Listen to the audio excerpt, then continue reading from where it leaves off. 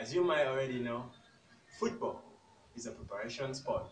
And while other guys are just sitting around and waiting for team training day one, you, my friend, ought to do yourself a favor and prepare. Ladies and gentlemen, I welcome you to Preseason Preparation Series, Episode 1.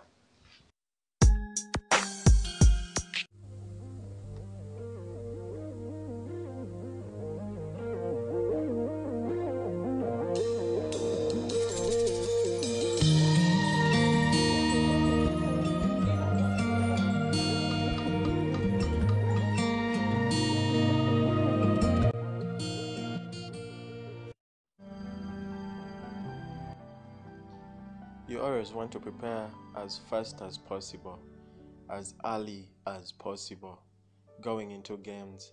If you want to feel more confident, you know, if you want to play better in your next games, the feeling of not being prepared is the worst that you can have going into a game. You always want to prepare, you always want to be ready. That should be your goal every single day. That's football, that's the way it should be. Then you'll feel more confident then you'll become the player that you always dreamed to be.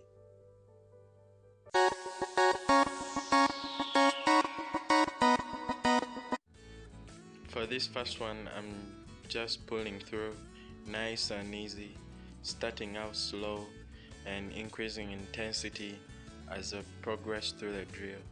Really driving those knees and just really focusing on that step back on the ground this exercise is beneficial for building strong legs and enough power behind your shot. You're gonna feel the impact around your glute and your hips.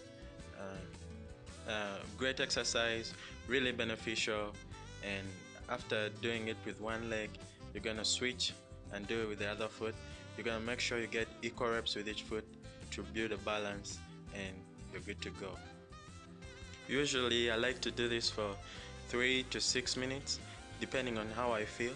But you can start out with, with shorter time periods and then you go on increasing time as you progress depending on how you feel.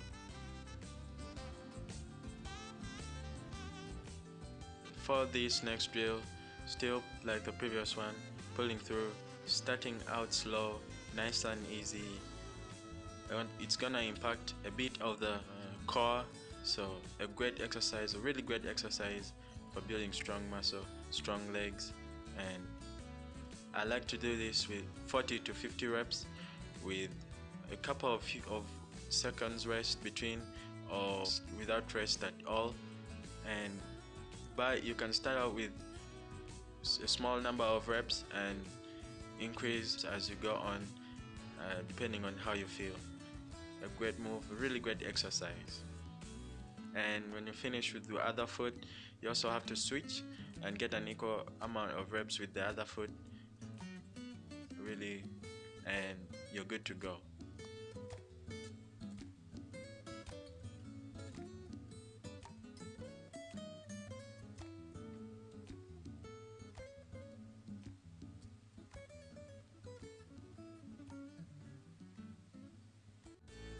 And for this next drill still pulling through nice slow and easy starting out slow increasing intensity as you progress through the drill.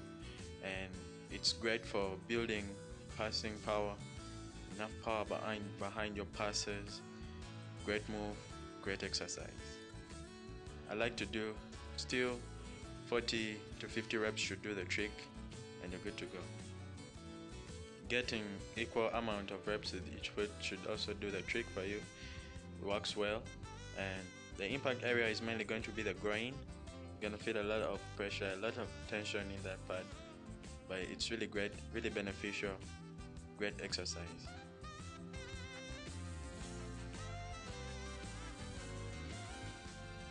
Uh, this next one I'm just pulling back nice slow and easy. The main target here is going to be the hamstrings. Building them nice big and strong and you know starting out slow increasing intensity as time goes on. And talking about you know hamstrings here really great exercise for your hamstrings and increasing intensity, uh, in an equal amount of reps of E on each foot, and you're good to go with this one as well. Also, I like to do 40 to 50 reps per foot, uh, depending on how I feel. Uh, you don't necessarily have to do 40 or 50 first time you do this exercise. You can start out slow, maybe with 10 reps, and as you go on, you know, getting used to it, you can then increase the amount of reps.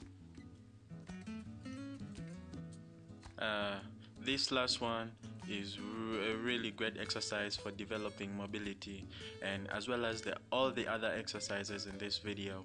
They're all great for increasing mobility but I just feel like this one is got the top notch you know. For me you know it, it, it's different with everybody how you feel but this for me works well just fine especially you know changing direction you know all those things that I have to do you know I, like, I also like to do 40 to 50 reps with each of these exercises except for the first one you know getting an equal amount of reps on each foot. Uh, it's just a great exercise very beneficial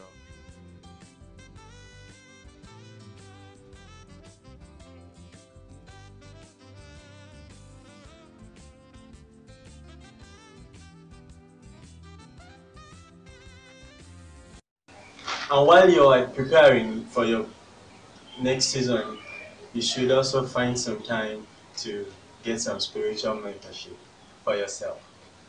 It's a really good idea.